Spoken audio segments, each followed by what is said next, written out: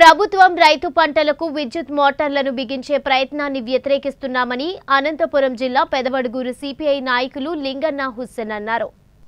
మోటార్లకు విద్యుత్ మీటర్లు బిగించేందుకు ఆపు ప్రభుత్వాన్ని వ్యతిరేకిస్తున్నామని సిపిఐ సీనియర్ నాయకులు నారాయణ లింగన్న హుస్సేన్ పీరా పేర్కొన్నారు.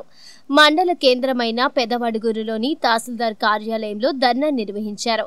ఈ సందర్భంగా వారు మాట్లాడుతూ గతంలో మాదిరిగానే పాత విధానాన్ని కొనసాగించాలని కోరారు రైతులు. ఈ సమస్యలన్నిటినీ క్షుణ్ణంగా అర్థం చేసుకుని ప్రభుత్వాలు ఏం చేస్తున్నాయనే విషయంపై ప్రతి ఒక్కరూ అధ్యయనం చేయాలని అన్నారు. అయితే ప్రభుత్వం మాత్రం రైతులకు సంబంధించి ఏ కార్యక్రమాలు చేపడుతున్నారో?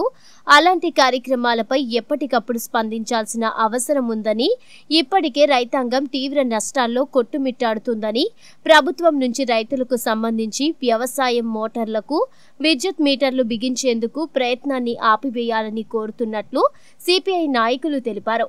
లేదంటే దేశవ్యాప్తంగా పెద్ద ఎత్తున ఆందోళన కార్యక్రమాలు చేపడతామని హెచ్చరించారు.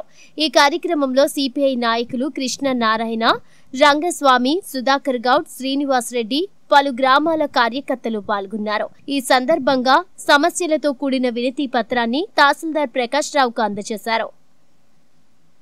రైతాంగానికి గత ప్రభుత్వము ఉచిత విద్యుత్ పేరుతో మోటార్లకు ఉచితంగా కరెంటు ఇవ్వడం జరుగుతూ ఉంది.